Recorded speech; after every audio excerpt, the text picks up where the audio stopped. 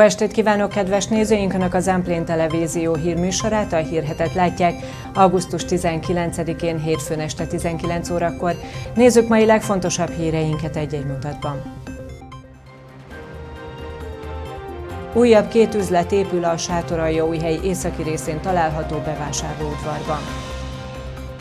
Az édesanyák is segítik az óvodai nevelési évkezdetét. Kiskata zenekar adott koncertet helyen. Újabb két üzlet épül hely északi részén található bevásárló udvarban. Ezek célja a munkahely teremtés és az, hogy a helyieknek ne kelljen bizonyos termékekért vagy szolgáltatásokért messzire utazniuk, hanem azok helyben elérhetőek legyenek. Az átadást követő időszakban pedig egy automosó és egy gyorsétterem építése is megvalósul majd. A két üzlet alapozási munkálatai már zajlanak, az üzletek nyitását pedig idén évvégére tervezik. újhely város északi részén néhány évvel ezelőtt épült be egy több üzletet is magában foglaló bevásárló központi rész. A tavalyi év során pedig újabb három üzletet adtak át az új bevásárló udvar első ütemeként, ezzel nem mellékesen 40 új munkahelyet teremtve.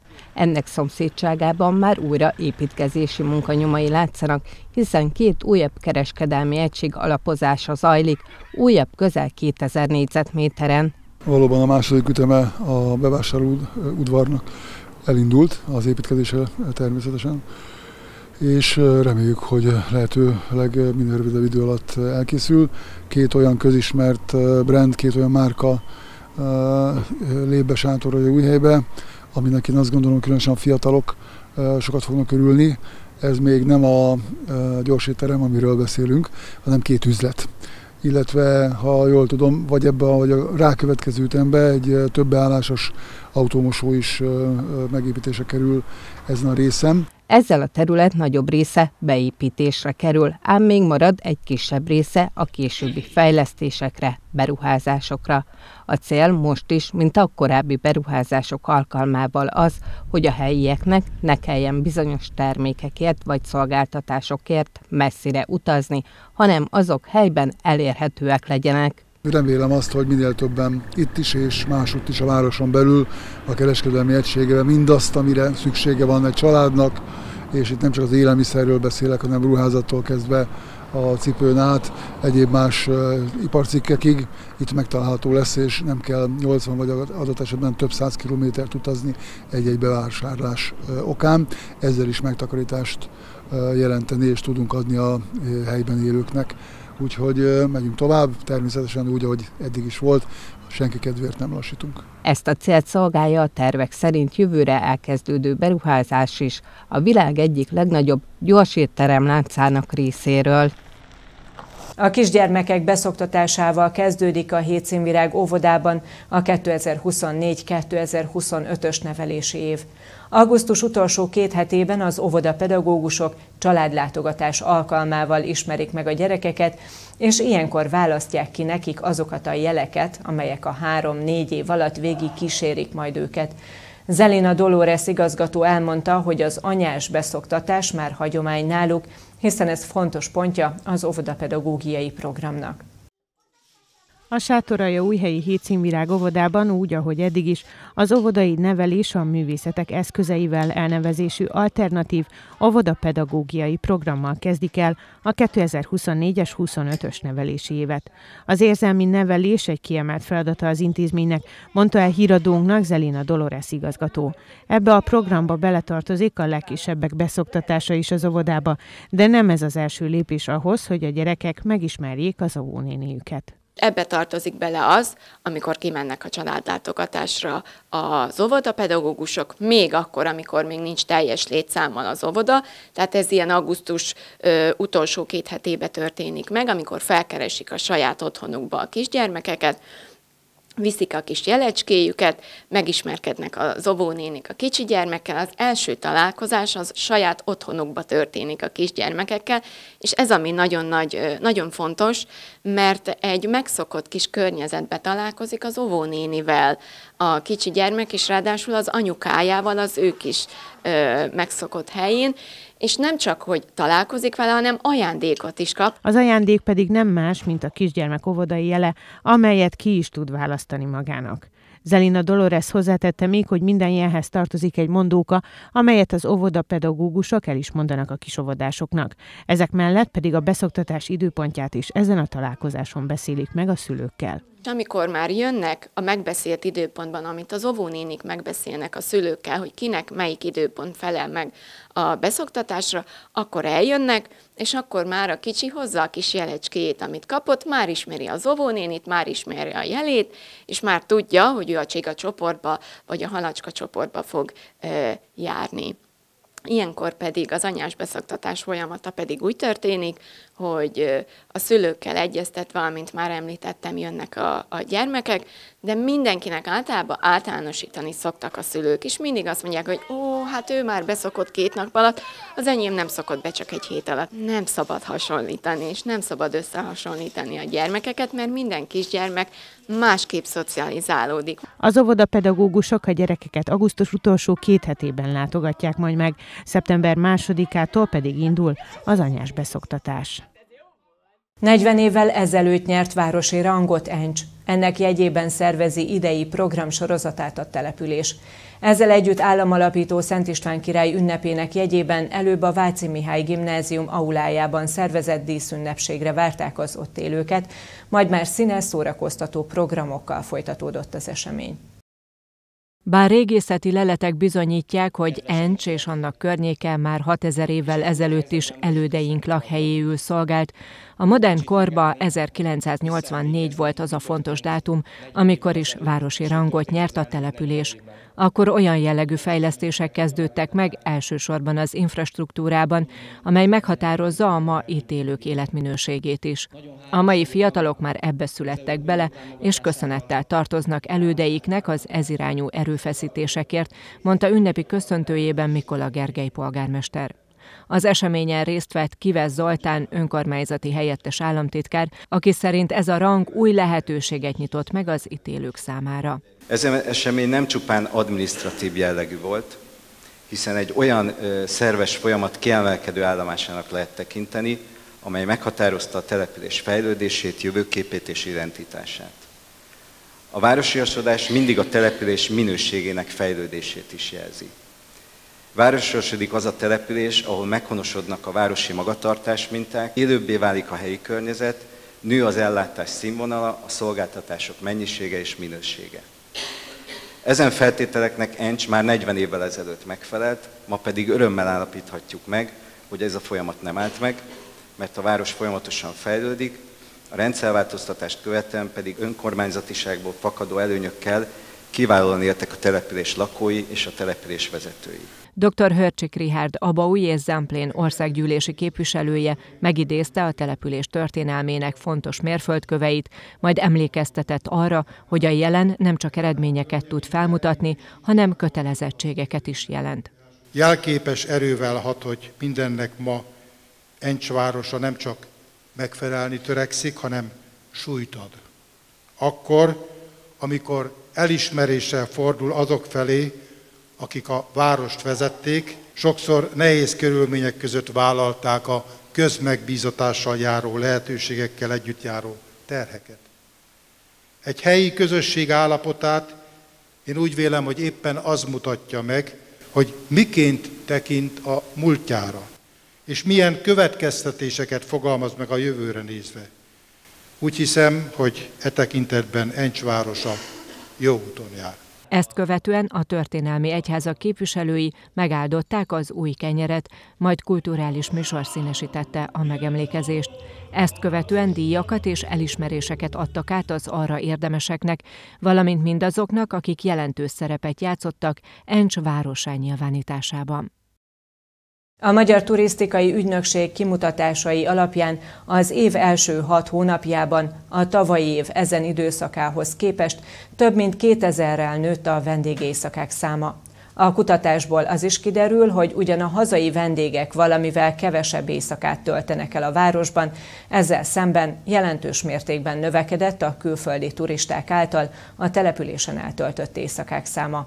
A városba érkező vendégek a magánszállásoktól a turista szállókon át a szállodákig többféle szálláshely közül választhatnak igényeiknek megfelelően.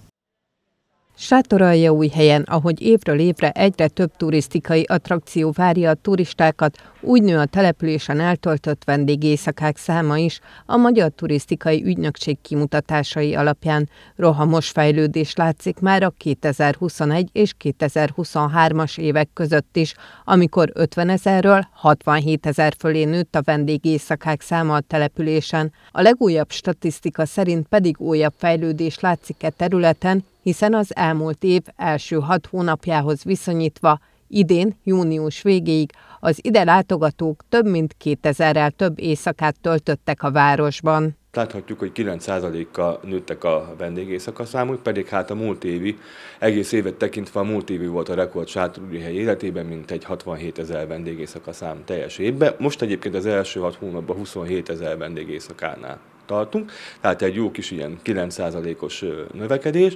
A belföldi vendégészakák tekintetében ugyanakkor, ami a túlnyomó részét kiteszi az egésznek, volt egy pici csökkenés, egy 3%-os csökkenés, ellenben a külföldi vendégészakák tekintetében viszont egy több mint duplájára nőtt, a, nőtt ez az adat, a, legfontosabb mutató a vendégészakák száma.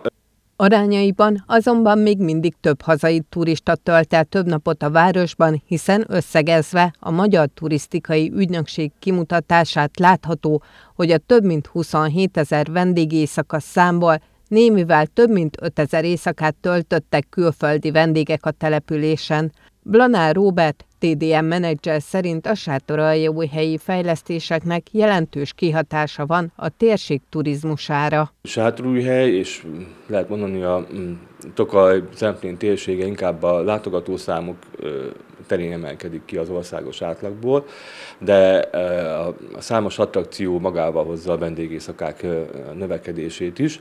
Ez, ez mindenféleképpen egy, egy nagyon fontos mutató, és a vendégészakák száma mint egy arra utal, hogy a turizmus segít a, a, a városnak, a, a város életének, város gazdaság életének a fenntartható fejlődésében.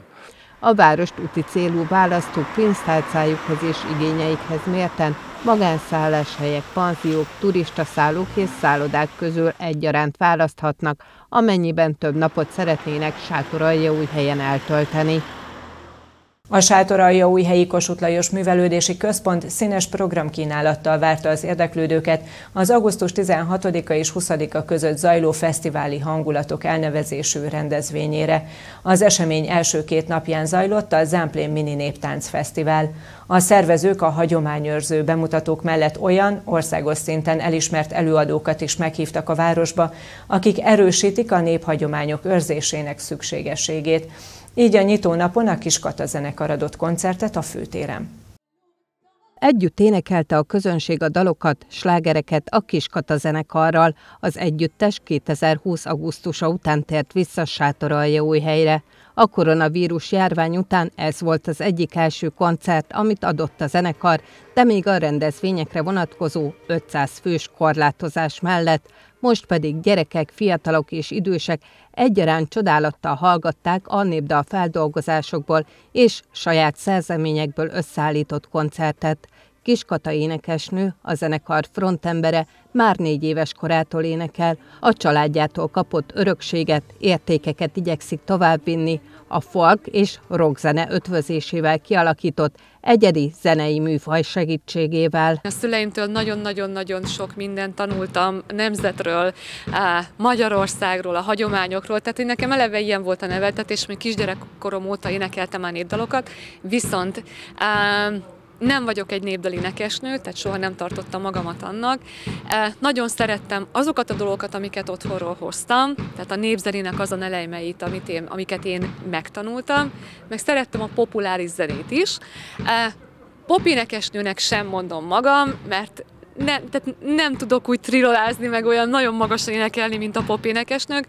Meg szerettem volna találni azt a műfajt, ahol, ahol gyakorlatilag mind a kettő jelen tud lenni. A hagyományok a szülőföldhöz való ragaszkodást mutatja, hogy a 15 éves zenekar megalakulásának szinte első pillanatától együtt dolgozik a mezőkövesdi Matyó néptánc együttessel. Az én zeném ugye arra épül, hogy őrizzük a hagyományokat, hogy szeressük azt a földet, ahol születtünk, őrizzük a hagyományokat, és én igyekszem a, a gyerekemnek is ezt tanítani, a jövő generációnak is ezt tanítani. Nagyon-nagyon fontos a hagyományoknak a szeretete, hiszen ez mutat előre, és akkor tudunk biztos jövőt építeni, hogyha, hogyha, hogyha büszkék vagyunk a gyökereinkre, és a gyökereikből tudunk táplálkozni. Amikor arról volt szó, hogy egy kicsit megnöveljük a zenekart, tehát hogy több táncossal lépjünk színpadra, akkor számomra egyértelmű volt, hogy a Matyó Néptánc együttessel fogunk dolgozni, hiszen a földjeim, ugye mezőköves mellől származom. A zenekar a hazai előadások mellett rengeteg koncertet ad a határon túli magyar lakta területeken, Kiskata énekesnőtől helyi koncertjük alkalmából megtudtuk, hogy szívügyének tartja a kárpátaljai magyarság sorsát, éppen ezért most egy kárpátaljai turnéra készülnek. Én mindig azt mondtam, hogy könnyű nekem itt egy olyan országban lennem, ami biztonságos, és könnyű nekem azt mondani a mikrofon mögül, hogy magyarnak lenni igenis jó. De hogy amikor szükség, szükség van az emberre, és szükség van arra, hogy, hogy, hogy, hogy reményt adjon a nemzettársainak, akkor, akkor el kell menni oda, ahol szükség van rá. És most én minden erőmmel azon vagyok, most nekem ez egy nagy projektem, hogy Kárpátalján minél több közösség és kulturális élményben tudjuk azokat a magyar társainkat részesíteni, akik, akik, akik ott maradtak. A Kiskata zenekart és a vele együtt színpadra lépő mezőköves Dimatyó néptánc együttest a helyi közönség is szeretettel fogadta. A koncert, a dalok nagy sikert arattak a jelenlévők körében. Hírműsorunk végén pedig nézzük még egyszer legfontosabb híreinket egy-egy mondatban. Újabb két üzlet épül a Sátoraljaújhely északi részén található bevásárlóudvarban. Az édesanyák is segítik az óvodai nevelési évkezdetét. Kiskata zenekar adott koncertet Sátoraljaújhelyen. Kedves nézőink, én már megköszönöm megtisztelő figyelmüket friss hírekkel a megszokott időben, holnap este 19 órakor jelentkezünk. Tartsanak majd velünk akkor is, viszontlátásra!